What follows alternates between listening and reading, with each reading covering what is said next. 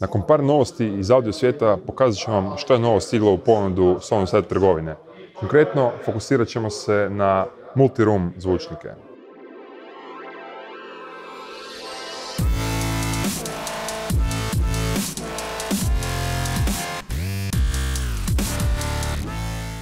Upoznat ću vas sa Deon Heos, Sonos i Din Audio multiroom zvučnicima. Multiroom znači da zaseban zvučnik u sebi ima svoje odvojeno pojačalo i bežično je poveziv sa bilo kojim izvorom zvuka, primjerice sa smartfona ili nekakvog drugog sličnog izvora. Također poveziv je sa drugim multiroom zvučnicima, ali samo iz svoje marke. Dakle, primjerice Deon Heos možete povezati sa e, još 31 multiroom zvučnikom u jedan sustav. Prije su si pod navodnicima multiroom zvučnike mogli priuštiti samo bogatiji, sustav se gradio pomoću višekanalnih pojačala, hrpa žica, tada nije bilo Wi-Fi direkta i nije bilo Bluetootha i današnjih tehnologija koje nude kvalitetan prijenos bežičnog zvuka. Uz to trebali su vam i svi oni komplicirani daljinski upravljači, pa je postojalo i oni all-in-one daljinski upravljači, a danas sve to imate na aplikaciji mobitela. Zvučnik stavite u kuhinju, kupaonu, spavaću sobu ili dnevni boravak i sve radi bežično.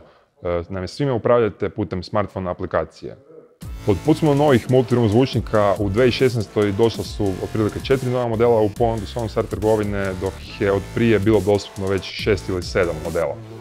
Cijene ovih modela kreću se od oko 1500 do 4,5-5 tisuća kuna, a razlika je zapravo samo u veličini, odnosno u, kapacitetu prostora koji oni mogu ozvučiti. Funkcionalnost kod multiroom zvučnika je više manje ista. Ne bi ih svrstali baš u hi-fi, ali danas već nude poprilično dobru kvalitetu zvuka. Putem Deon Kios aplikacije e, ćemo vam ukratko tu pokazati e, što sve možete.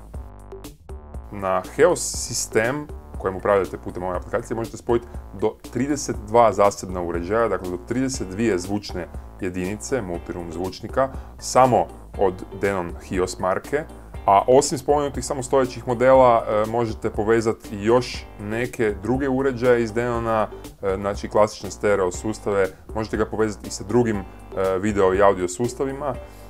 Prvi korak je da na svoj Android, Windows Phone ili iOS instalirate besplatnu HiOS aplikaciju i time vaš telefon ili u ovom slučaju tablet postaje daljinski upravljač.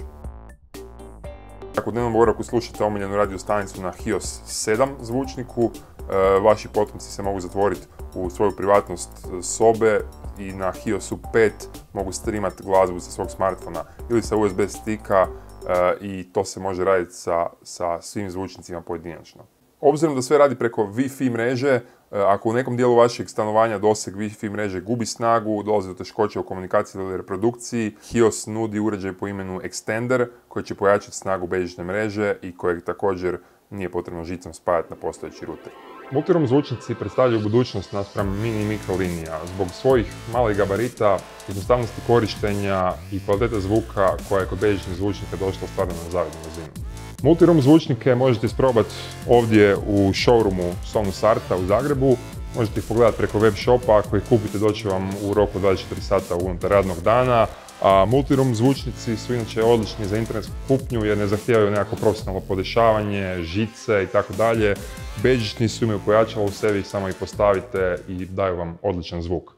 Inače, ovih uređaja će u budućnosti biti sve više.